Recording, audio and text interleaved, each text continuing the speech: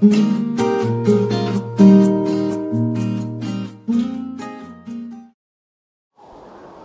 Cooperative സ്റ്റഡീസിന്റെ YouTube ചാനലിലേക്ക് എല്ലാവർക്കും സ്വാഗതം. പരീക്ഷ പരീക്ഷയോടനുബന്ധിച്ച് ഉള്ള സ്പെഷ്യൽ ക്ലാസ്സിന്റെ മൂന്നാമത്തെ ക്ലാസ്സാണ് ഇന്നത്തെ ക്ലാസ്സിൽ നമ്മൾ ഉദ്ദേശിക്കുന്നത്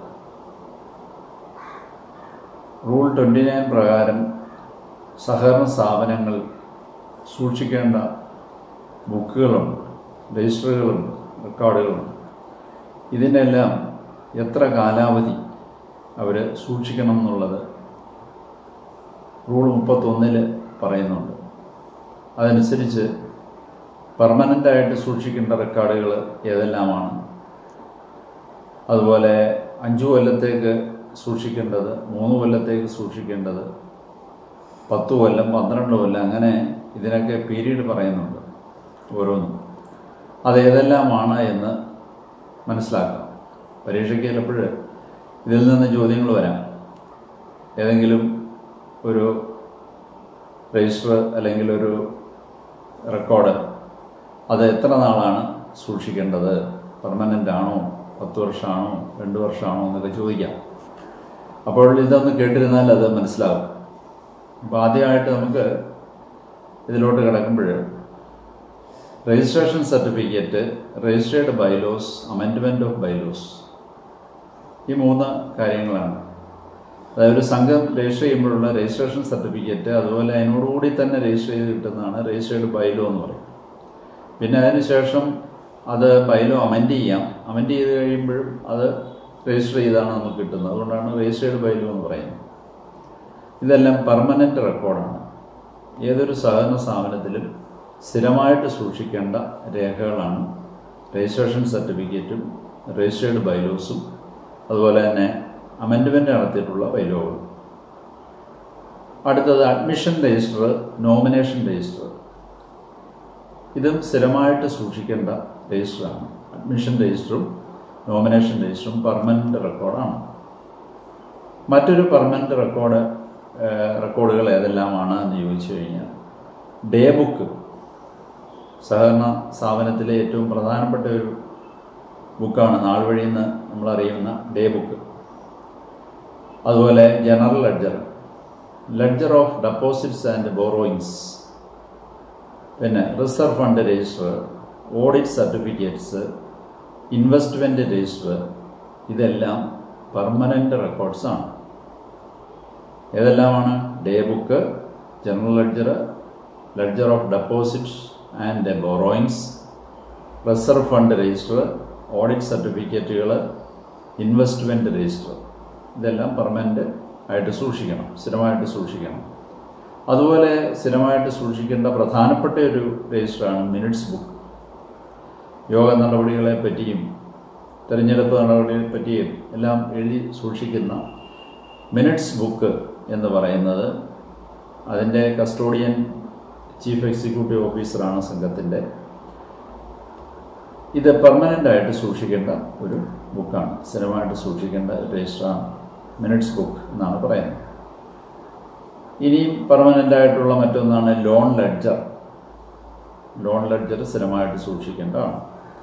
അതുപോലെ ലാൻഡ് രജിസ്റ്റർ അതായത് containing the details of land of members അംഗങ്ങളുടെ ഭൂമി സംബന്ധിച്ചിട്ടുള്ള കാര്യങ്ങളെ പറ്റി പറയുന്ന ലാൻഡ് രജിസ്റ്റർ പെർമനന്റ് ആയിട്ട് സൂക്ഷിക്കണം. അതുപോലെ മെമ്പേഴ്സ് ലയബിലിറ്റി രജിസ്റ്റർ പെർമനന്റ് ആണ്. മെമ്പേഴ്സ് ലയബിലിറ്റി രജിസ്റ്റർ മറ്റൊന്നാണ് register of fluid resources fluid resources. ദ്രവ വിഭവ അത് പഠിച്ചിട്ടുണ്ട്. ദ്രവ വിഭവത്തെ പറ്റി നമുക്ക് അറിയാം. ആ ഫ്ലൂയിഡ് റിസോഴ്സസിനെ പറ്റി എഴുതി സൂക്ഷിക്കുന്ന ഒരു ബുക്ക്. അത് സ്ഥിരമായിട്ട് സൂക്ഷിക്കേണ്ടതാണ്.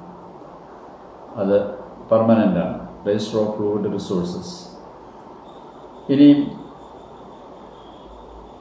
രണ്ട് കൊല്ലം സൂക്ഷിക്കേണ്ട ഒരു ബുക്കാണ് ഡെയിലി സെയിൽസ് ബുക്ക് രണ്ട് കൊല്ലം സൂക്ഷിക്കണം. ഡെയിലി സെയിൽസ് ബുക്ക് അതുപോലെ മൂന്ന് കൊല്ലം സൂക്ഷിക്കേണ്ടതാണ്. ക്രെഡിറ്റ് ലിമിറ്റ് സ്റ്റേറ്റ്മെന്റ് എന്ന് പറയുന്നത്. ക്രെഡിറ്റ് ലിമിറ്റ് സ്റ്റേറ്റ്മെന്റ് ത്രീ ഇയേഴ്സാണ് അത് സംഘത്തിൽ സൂക്ഷിക്കേണ്ടത്. സസ്പെൻസ് അക്കൗണ്ട് രജിസ്റ്റർ അഞ്ച് കൊല്ലം സൂക്ഷിക്കണം. സസ്പെൻസ് അക്കൗണ്ട് രജിസ്റ്റർ അഞ്ച് കൊല്ലം സൂക്ഷിക്കണം. അഞ്ച് കൊല്ലം സൂക്ഷിക്കേണ്ട മറ്റ് രജിസ്റ്ററുകളുണ്ട് റെക്ടിഫിക്കേഷൻ രജിസ്റ്റർ അതും അഞ്ച് വർഷമാണ് സൂക്ഷിക്കേണ്ടത്. റെക്ടിഫിക്കേഷൻ രജിസ്റ്റർ അതായത് ഈ ഇൻസ്പെക്ഷൻ വേളയിലും അതുപോലെ ഓഡിറ്റ് നടക്കുന്ന സന്ദർഭത്തിലുമൊക്കെ ഇൻസ്പെക്ടർമാരും ഓഡിറ്റർമാരും ഒക്കെ അവിടെ ആ സംഘത്തിൽ കാണുന്ന ന്യൂനതകൾ എഴുതിയിടുന്ന ഒരു രജിസ്റ്ററാണ് ഡിഫക്റ്റ് റെക്ടിഫിക്കേഷൻ രജിസ്റ്റർ എന്ന് പറയും ആ റെക്ടിഫിക്കേഷൻ രജിസ്റ്ററിനകത്ത് ന്യൂനതകൾക്ക് മറുപടി സംഘത്തിന്റെ ഭാഗത്തുനിന്ന് എഴുതി സൂക്ഷിക്കണം. അവർ പരിശോധിക്കും പിന്നീട് വരുമ്പോൾ. അത് ആ രജിസ്റ്ററിന്റെ കാലാവധി എന്ന് പറയുന്നത് അഞ്ച് കൊല്ലമാണ് സൂക്ഷിക്കേണ്ടത്. മറ്റൊന്ന് സസ്പെൻസ് അക്കൗണ്ട് രജിസ്റ്ററാണ് അതും അഞ്ച് വർഷമാണ് സൂക്ഷിക്കുന്നത്. Suspense account register. Purchase book അഞ്ച് കൊല്ലമാണ്. അഞ്ച് കൊല്ലം സൂക്ഷിക്കേണ്ടതാണ് purchase book. Register of monthly R and D മാസ മാസാന്ത്യം അല്ലെങ്കിൽ മാസ തോറും എഴുതുന്ന വരവ് ചെലവ് കണക്ക്. തന്നെയാണ് നമ്മൾ register of monthly R and D എന്ന് പറയുന്നത്. അത് അഞ്ച് കൊല്ലമാണ്. വൗച്ചർ ഫയലുകൾ അഞ്ച് കൊല്ലമാണ്. വൗച്ചർ ഫയൽ ഫൈവ് ഇയേഴ്സ് ആണ്. ഇനി ഏഴ് കൊല്ലം സൂക്ഷിക്കേണ്ട ഒരു രജിസ്റ്റർ ഉണ്ട്. ഏഴ് കൊല്ലം സൂക്ഷിക്കേണ്ട ഒരു രജിസ്റ്റർ ഉണ്ട്. ഡിവിഡൻഡ് രജിസ്റ്റർ ഡിവിഡൻഡ് രജിസ്റ്റർ പത്ത് കൊല്ലം സൂക്ഷിക്കേണ്ട രജിസ്റ്ററാണ് റെസീറ്റ് ബുക്ക് റെസീറ്റ് ബുക്കുകൾ പത്ത് കൊല്ലമാണ് സൂക്ഷിക്കേണ്ടത്. അതുപോലെ അക്വിറ്റൻസ് റോളും പത്ത് കൊല്ലം സൂക്ഷിക്കണം. അക്വിറ്റൻസ് റോൾ പത്ത് കൊല്ലമാണ് സൂക്ഷിക്കേണ്ടത്. പന്ത്രണ്ട് കൊല്ലം സൂക്ഷിക്കേണ്ട ഒരു രജിസ്റ്റർ ഉണ്ട്. സെക്ഷൻ തേർട്ടി സിക്സ് അനുസരിച്ച് ഉള്ള register of declaration register of declaration എന്നാണ് പറയുന്നത്. അത് പന്ത്രണ്ട് കൊല്ലമാണ് അതിന്റെ അത് സൂക്ഷിക്കേണ്ട കാലാവധി.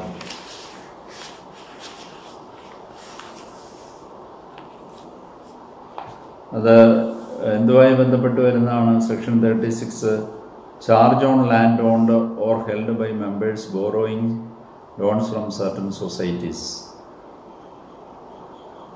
അത് ആണ് സെക്ഷൻ മുപ്പത്താറിൽ പറയുന്നത്. ആ സെക്ഷൻ മുപ്പത്താറുമായി ബന്ധപ്പെട്ട ഒരു ഡിക്ലറേഷനാണ് രജിസ്റ്റർ ഓഫ് ഡിക്ലറേഷൻ അത് പന്ത്രണ്ട് കൊല്ലം സൂക്ഷിക്കണം. മറ്റൊരു പന്ത്രണ്ട് കൊല്ലത്തേക്ക് അതിൽ സംഘത്തിൽ സൂക്ഷിക്കേണ്ട മറ്റ് രജിസ്റ്ററുകൾ അല്ലെങ്കിൽ ബുക്കുകളാണ്. ചിട്ടി ലെഡ്ജർ ചിട്ടി ഡേ ബുക്ക് ചിട്ടി മിനിറ്റ്സ് ചിട്ടി സംബന്ധിച്ചിട്ടുള്ള രേഖകളാണ്. ചിട്ടി ലെഡ്ജർ ചിട്ടി ഡേ ബുക്ക് ചിട്ടി മിനിറ്റ്സ് ഇത് പന്ത്രണ്ട് കൊല്ലമാണ് സൂക്ഷിക്കേണ്ടത്.